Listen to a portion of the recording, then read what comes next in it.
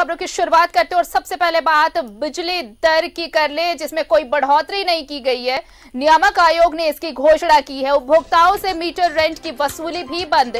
अब डीपीएस की दरों में कमी होगी। जेवीबीएनएल ने 20 फ़ीसदी बढ़ोतरी की मांग की थी। विद्युत उपभोक्ताओं के लिए ये बड़ी राहत की खबर है। औद्योगिक ग्रामीण और शहरी विद्युत चार्ज में कटौती की गई है। इंडस्ट्रियल इलेक्ट्रिकल सप्लाई एचटी 10 पैसे प्रति यूनिट सस्ती हुई है। तो देखिए 20 प्रतिशत बढ़ोतरी की मांग की थी जेवीबीएनएल ने। लेकिन विद्युत नियामक आयोग ने कोई बढ़ोतरी नहीं की है। और इस बीच में जो लॉस वॉस होता है, ये इनकी थोड़ी इनइफिशियंसी होती है, या उसमें और सुधार की आवश्यकता होती है। हम लोग थोड़ा आशावादी हैं, भगवान में विश्वास करते हैं। और झारखंड हमारा विकासशील राज्य भी है। हमारी लोकप्रिय सरकार जो भी रही है, पावर इंडस्ट्री में ध्यान देती है और सस्ती से सस्ती बिजली उपलब्ध कराने के लिए सरकार सतत प्रयासरत है। हम लोग आशावादी हैं, जाने आप कि एक, दो साल, तीन साल के अंदर आप लोग आएँगे कि सर इस बार बिजली रेट कितना घटा। बढ़ने का तो कोई प्रश्न ही नहीं है। इसलिए जो भी आपकी समस्याएँ हैं, वो एक दो साल ही आप पूछेंगे कि सर कितना बढ़ाए। मेरे रहते ही मेरा यहाँ टर्म है। तो आप लोग हमसे या हमारे सेक्रेटरी से पूछते रहे कि बिजली रेट सर घटाए कितना? क्योंकि एक बड़ा प्रोजेक्ट हमारा आ रहा है। इसके अलावा हम लोग सेकी से पीपीए कर रहे हैं 700 मेगावाट का। और वो बिजली सब काफ़ी सस्ती बिजली होगी। आप ऐसे समझिए कि पावर जो है एक विश्वव्यापी मार्केट है। विश्वव्यापी मार्केट होने जा रहा है। अभी तो भारत व्यापी है, यानी पूरे भारत की बिजली एक दर पर बिके, इसका प्रयास किया जा रहा है।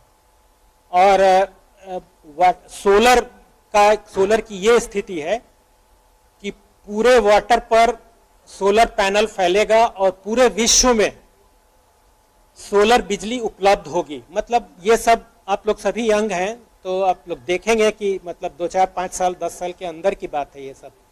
इसलिए बिजली सस्ती ही होनी है।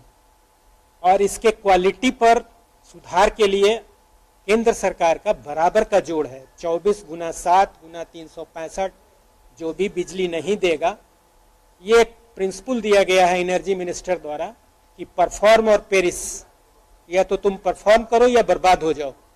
इसलिए कंपनी को चैलेंज है कि वो अपना परफॉर्मेंस सुधारें। और सभी कंपनियाँ इसमें सतत प्रयासरत रहती हैं। सरकारी कंपनियों का ये उनकी कमी होती है कि इनका व्यवसायीकरण उस तरह से प्राइवेट की तरह हो नहीं पाता है। जिस तरह प्राइवेट लोग लग जाते हैं और अगर मुनाफा टाटा स्टील, अगर पावर जैसे टाटा पावर पावर बना रही है और अगर उसको नुकसान होना शुरू हो जाएगा तो वो अपने कंपनी के एम्प्लॉयज़ को रिट्रेंच कर देगी। सरकारी कंपनियों का एक ये भी है कि इसका क्षेत्र बहुत बड़ा है जेबीवीएनएल का क्षेत्र बहुत बड़ा है। सरकार आप लोग जैसे लाइफ टू लिबर्टी जानते हैं, आप लोग जानते हैं कि सबको जीने का अधिकार है तो वो दिन अब दूर नहीं है कि बिजली भी आपका मौलिक अधिकार होगा। हर आदमी को बिजली मिलना मौलिक अधिकार होगा। सरकार इसके तरफ़ सतत बढ़ रही है। और बहुत से लोग खासकर झारखंड के परिप्रेक्ष्य में मैं कहना चाहूँगा कि पाकुड़, साहबगंज, लोहरदगा जैसे दूरस्थ पहाड़ी इलाकों में अभी भी आम लोगों को बिजली जो पहाड़ी इलाकों में रहते हैं उपलब्ध नहीं है। अगर उनके चेहरे पर मुस्कान एक सीएफएल जलने से जल जाता है और इसमें सरकार का कुछ नुकसान भी होता है तो हमारी सरकार लोक कल्याणकारी सरकार है, उसे बर्दाश्त करती है। ताकि आम लोगों को गरीब लोगों को जो समाज के सबसे नीचे सीढ़ी पर बैठे हुए हैं उन तक भी हम बिजली की बिजली की शक्ति को पहुँचा सकें वो भी जाने कि उजाला रात में कैसे होता है और भी बातें हैं हम लोग हमेशा सुधार के लिए प्रयासरत हैं आप लोग इस छुट्टी के दिन में अपने सहयोग दिए इसके लिए धन्यवाद बात आ रही है तो थोड़ा सा लगता है थोड़ी सी इनिशियली महँगी होगी अभी जैसे हम लोग अपने झारखंड के उसके बाद हो सकता है आपकी क्या नहीं नहीं, वैसा बिजली महँगी तो हम लोग इस बार नहीं कर रहे हैं, लेकिन एक दो साल हो सकता है कि टैरिफ में कुछ वृद्धि हो हो सकता है। क्योंकि आप ऐसे समझिए कि कॉस्ट कॉस्ट बेस्ड हम लोग टैरिफ निर्धारित करते हैं। तो जैसे आपका पेट्रोल का कॉस्ट बढ़ गया, डीजल का कॉस्ट बढ़ गया, उसके एम्प्लॉयज़ का वेतन बढ़ा, आपका खुद का डीए बढ़ा, या जो भी सरकारी कर्मचारी हैं, उनका जो भी बढ़ा प्राइवेट कर्मचारी हैं तो उनका वेतन बढ़ा तो ये सब तो उसमें सब उसमें समाहित होते हैं। इसलिए वृद्धि तो थोड़ी बहुत हो सकती है, लेकिन चूँकि पावर परचेज कॉस्ट हमारा घटने जा रहा है एक, दो साल, तीन साल के अंदर तो खुद ब खुद इसका असर टैरिफ पर पड़ेगा। और अच्छे दिन जो कहते हैं कि लोगों के अंतिम व्यक्ति तक हम बिजली पहुँचा सकें और क्वालिटी बिजली अवेलेबल हो, ये हमारा सतत प्रयास है।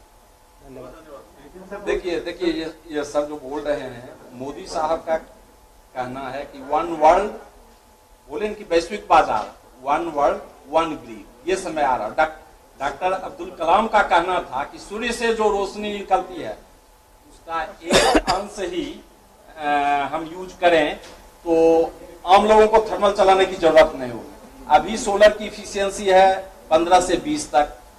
दस पाँच साल में वो उनका कहना था उनका आकलन था कि 40-50 परसेंट हो जाएगा और उसके बाद शायद बिजली की कीमत बहुत नगण्य देने।